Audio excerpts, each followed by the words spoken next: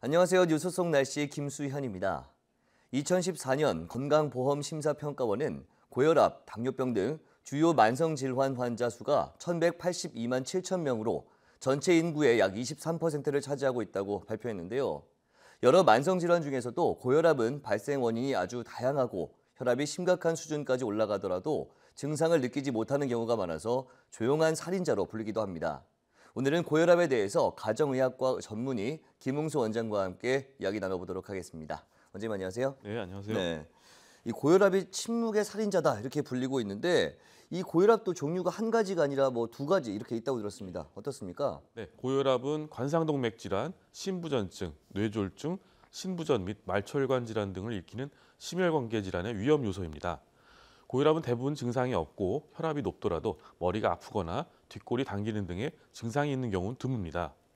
혈압이란 혈관 속을 흐르는 혈액의 압력으로서 일반적인 혈압은 팔의 동맥에서 측정한 동맥 압력을 의미합니다. 압력을 기록하는 단위는 흔히 밀리미터 머큐리라고 하는데요. 예. 고혈압은 일반적으로 수축기 혈압 140 이상 또는 이완기 90 이상인 경우를 말합니다. 정상 혈압은 120에 80 이하이고요. 120에 80에서 140에 90 사이를 전 단계 고혈압이라고 합니다. 고혈압 전 단계에서는 생활 습관을 개선해서 혈압을 낮추게 되면 고혈압으로 진행되는 비율을 현저하게 낮출 수 있다고 합니다. 고혈압은 원인에 따라서 1차성 고혈압과 2차성 고혈압으로 분류합니다. 1차성 고혈압은 본태성 고혈압이라고 하며 특별한 외부 원인이 없고 자체적으로 발생하는 고혈압입니다. 1차성 고혈압은 전체 고혈압 환자의 90에서 95% 이상을 차지하는데요. 대개 나이가 들면서 점차 증가하는 경향입니다. 유전 경향이 강하고 또 소금 섭취량이 많은 지역에서 발생률이 증가합니다. 2차성 고혈압은 다른 원인에 의해서 고혈압이 발생하는 것을 의미합니다.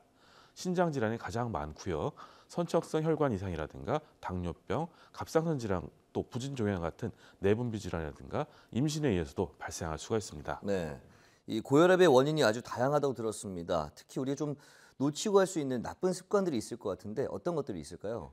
그 고혈압의 원인에는 크게 환자가 노력해도 조절할 수 없는 위험 인자와 예. 환자의 노력을 통해서 조절할 수 있는 위험 인자 두 가지로 구분됩니다. 환자가 조절할 수 없는 위험 인자에는 나이라든가 가족력이 있습니다. 환자의 나이가 증가할수록 고혈압의 발생 위험도 증가하는데요. 고혈압은 유전적인 경향이 있습니다. 그렇기 때문에 부모가 모두 고혈압 환자라면 자녀의 80%에서 고혈압이 발생하고 한쪽만 있게 되면 자녀의 25에서 40%에서 발생한다고 합니다.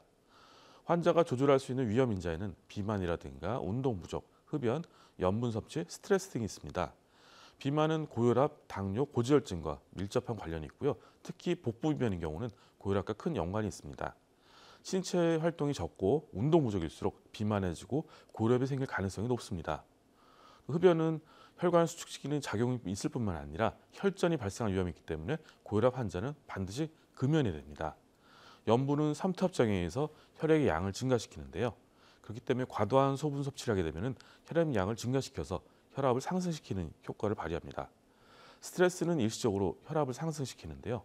또 하루 서너 잔 이상의 술을 마시면 고혈압 발생 위험이 증가한다고 합니다. 네, 그렇다면 고혈압 치료는 언제부터 해야 하는지 또 어떻게 이루어지고 있는지도 궁금하거든요. 그 고혈압을 조절하게 되면 심혈관 질환의 발생과 사망률이 낮춰지기 때문에 가능한 모든 위험 인자를 제거하고 혈압을 철저히 조절해서 목표 혈압을 최소한 140, 90 이하로 낮추게 됩니다.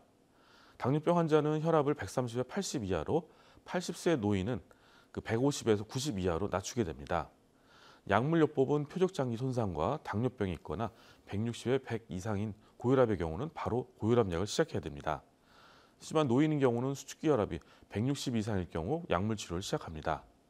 대부분의 환자에서는 고혈압이 진단되게 고혈압 약을 평생 복용해야 되는데요. 전체 고혈압 환자 중에 2차성 고혈압 환자에서는 원인을 제거하면 혈압이 정상화되는 경우가 있기 때문에 이는 소수에 불과하게 됩니다. 따라서 대부분의 고혈압 환자에서는 고혈압 치료는 완치 개념이 아니라 조절의 개념입니다.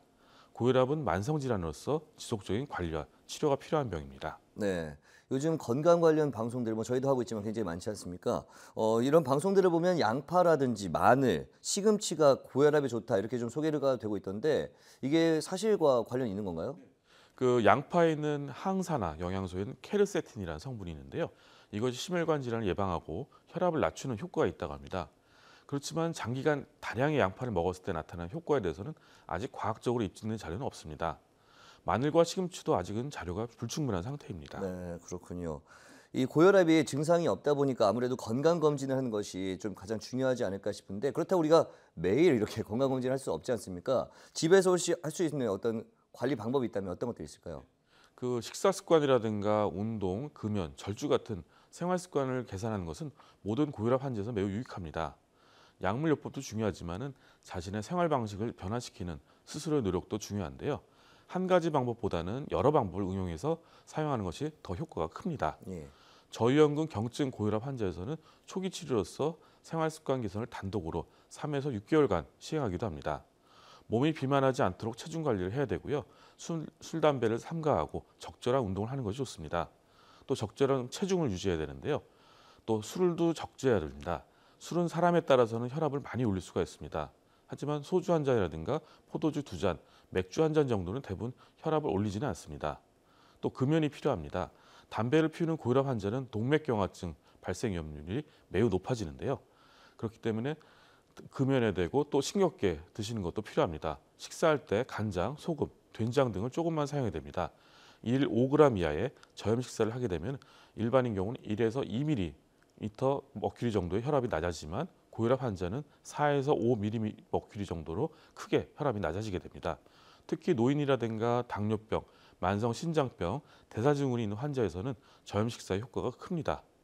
또 적당한 운동을 하는 것은 혈압을 떨어뜨리고 혈액순환을 촉진하는 작용을 합니다.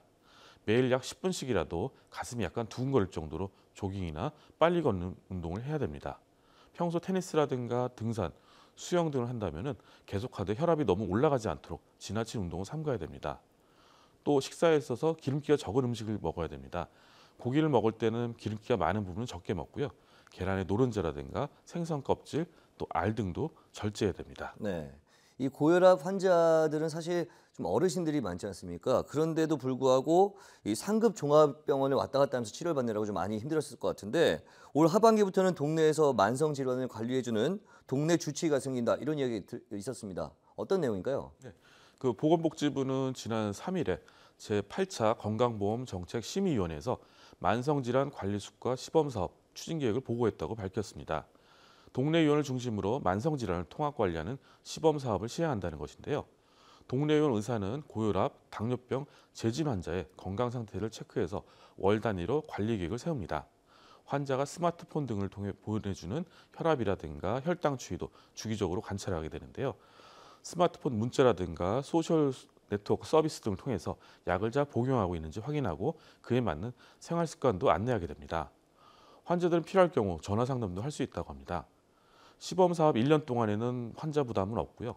7월부터 고혈압, 당뇨병 환자는 시범 사업에 참여하는 동네를 방문하게 되면 만성 질환 관리 서비스를 받을 수 있다고 합니다. 네, 그러니까 일단 내년 6월까지 시범 사업이 진행이 되는 거죠. 어, 계속해서 관심을 갖고 지켜봐 주시면 좋을 것 같습니다. 오늘 말씀 고맙습니다. 네, 뉴스 속 날씨 오늘 준비한 소식은 여기까지입니다. 시청해주신 여러분 고맙습니다.